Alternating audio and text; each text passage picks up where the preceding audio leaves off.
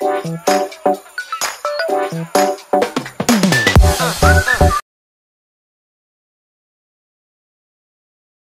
perform this integration, this definite integral, you just press this integral sign right here, and then you want to go from 0 up to 3 of 2x within bracket 2x equals 2 then alpha then x then minus 1 close bracket press equal and work it out 6 now I made sure to put the answer right here. See there number 1 is 6 so get number 1 to be 6 and it's just like right here.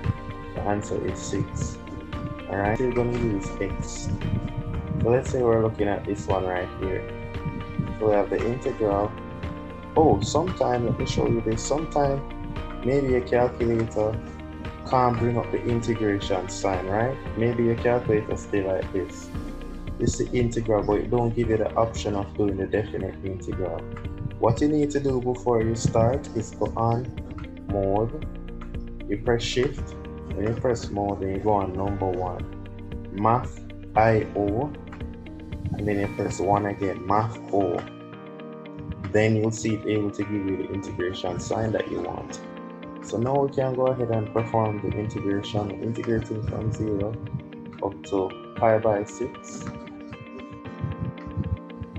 pi by 6 and we're integrating put in here now sine 2x so we're gonna write sine 2 alpha x close the bracket. We're integrating this from 0 to pi by 6 then you press equal we get 4.78 times 10 to the minus 3 4.78 times 10 to the minus 3 look at number 19 oh.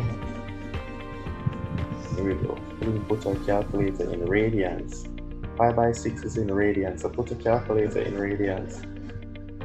Take one shift mode put it on radians number 4 and let us now work out this question so the quarter there now all right so because